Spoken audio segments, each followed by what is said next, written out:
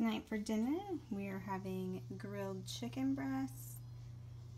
These are, they actually were purple beans. We got them from our CSA. I'll try and um, show a picture of what they looked like before. And you can kind of see there's a little bit of purple in there. I just sauteed those with some onions and then salt, pepper, and garlic powder. And then we have some sweet potato, uh, like baked sweet potatoes.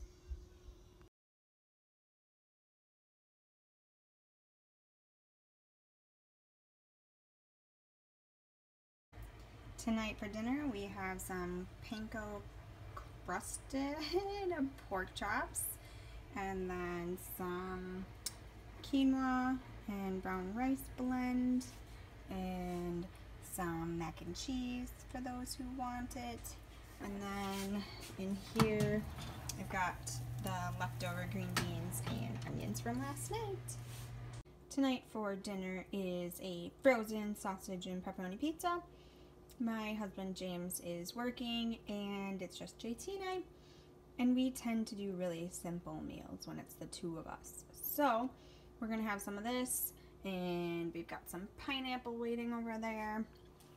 And maybe I'll find a veggie for him too.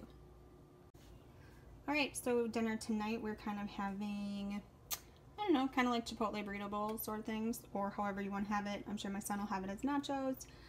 I might have in a tortilla. So I've got some chicken that I was actually the Kirkland like grilled pre-cooked stuff and I had some random enchilada sauce in the freezer. So I just let that cook on low for like ever. And then these are some black beans I mixed with green chilies and some salsa. We've got some rice.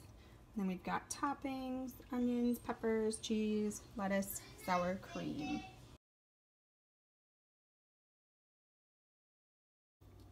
So tonight, totally forgot to record what we ate, but these are the leftovers. We just had um, spaghetti and meat sauce. Sorry, it wasn't even meatballs. It's just hamburger browned up. And then um, we had corn on the cob on the side. And I cooked the, so we have a CSA. And from that, we did this corn event where we got to go pick our own, um, like, sweet corn. So we brought home, I think, how many? Like, just two huge bagfuls of corn on the cob. So what I did is I shucked them and then vacuum sealed them, about three or four in each pack, and then put them in our deep freezer. And last night was the first time I tried cooking them. So I put them in the Instant Pot frozen and I just kind of stacked them up. I, we had three of them. And I cooked them for two minutes. They were good. I'll, next time I'm going to try one minute because they were a little, not, they were just a little on the soft side. But they tasted great, super sweet, and definitely highly recommend freezing corn on the cob if you have extras like that. I didn't par boil it, pre-boil it. I didn't do any, all I did literally peel off the husks and the silks and put them in freezer in the um, vacuum seal bags and vacuumed them up and stuck them in the freezer. So that is what was for dinner last night that I totally forgot to film for you guys. See you later.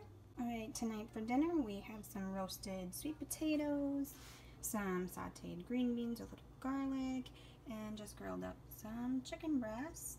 And we've got some watermelon. So there's James's plate and I'll make the rest. On this night, we were up at our cabin. We had some Spanish rice, some taco meat, lettuce, cheese, onions, olives, sour cream, all the toppings.